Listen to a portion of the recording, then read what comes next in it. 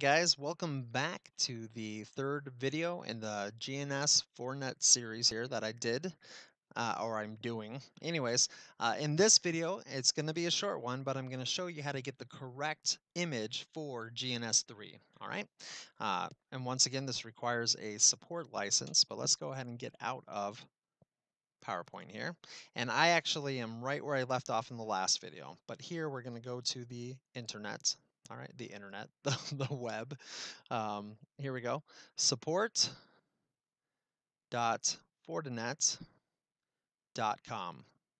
So once again, you have one support contract with one Fortinet device.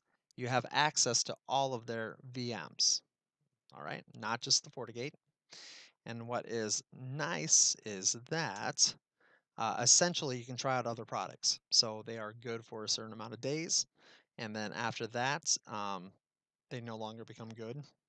Uh, but that should give you enough time to play with not just a FortiGates, but also if you want a FortiAnalyzer or if you want to try out a FortiAuthenticator. All right, but we're going to come up here, welcome Devin Adams, to where it says download, and we're going to get the firmware images.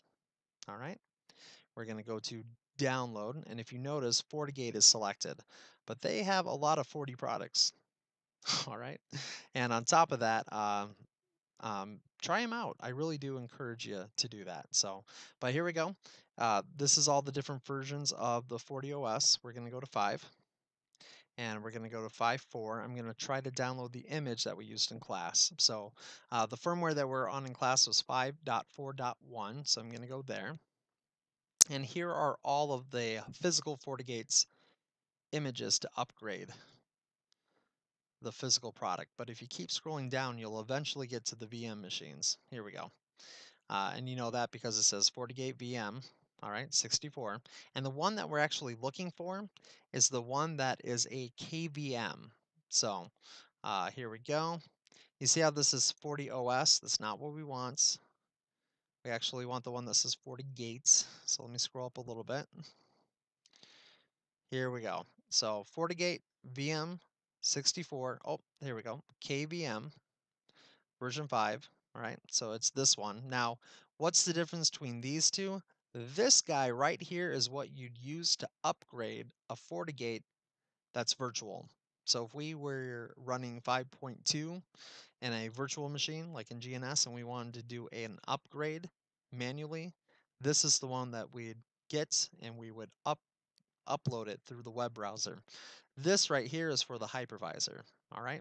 So we're going to uh, come all the way over here and we're going to click HTTPS to download it. It's instantly going to say, okay, where do you want to download it?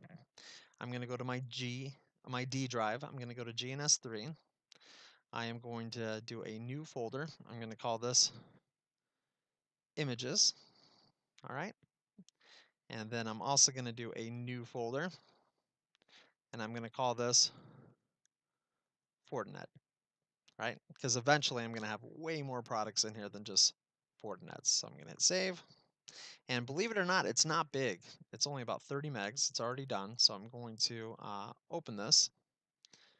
And as you can see, we have a FortiOS QCOW2 file. So and that is what QEMU KVM uses.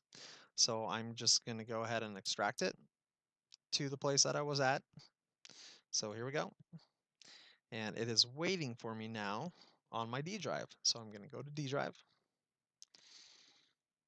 All right, I'm going to go to GNS3. I am going to go to my images. I'll probably make shortcuts to these later. And this is actually what I wanted. So I'm going to delete the zip file. It's no longer good to me. And I'm going to leave the folder the way that it is as a reference. And before I go in this, just kind of kind of have faith in me here where I'm going to go ahead and click it once and I'm going to copy that name. All right, then I'm going to go in and then I'm going to click once here and I'm going to paste it. So the name of the build is replacing FortiOS, And the reason why I'm doing that is because uh, essentially I need uh, GNS3 to be able to match the firmware. All right. So you can go ahead and do this for like 5, 6, or any flavor of FortiGate that you want.